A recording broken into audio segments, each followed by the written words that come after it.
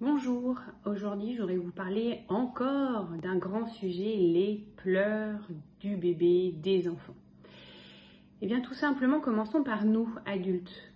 Quand on pleure, euh, parce qu'il y a un événement terrible, un deuil, quelque chose de très difficile, qu'est-ce qu'on va faire? Eh bien on va aller dans les bras de quelqu'un en qui on a confiance et on va pleurer, on va lâcher toute l'attention et la personne qui nous reçoit dans les bras eh bien, attend que les larmes s'arrêtent euh, si c'est une personne bienveillante.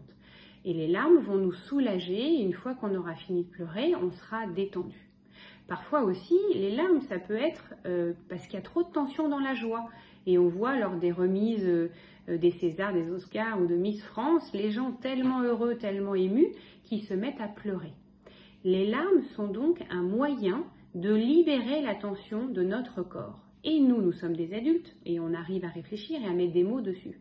Eh bien, un petit bébé, c'est encore plus démultiplié. C'est-à-dire que le bébé va accumuler du stress, de la tension, et puis pour se décharger de ça, il va pleurer. Et il a besoin de pleurer. Il faut le laisser pleurer. Ça va lui faire du bien.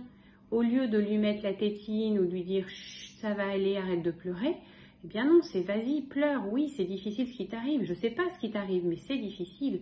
Vas-y, pleure.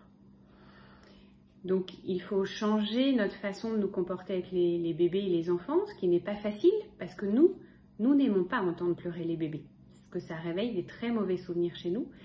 Alors qu'en fait, si c'était notre meilleur ami ou notre conjoint ou notre conjointe qui avait des larmes, on lui dirait pas Chut, allez, c'est bon, tais-toi, ça va aller. Allez, allez, pense à autre chose. Allez, regarde.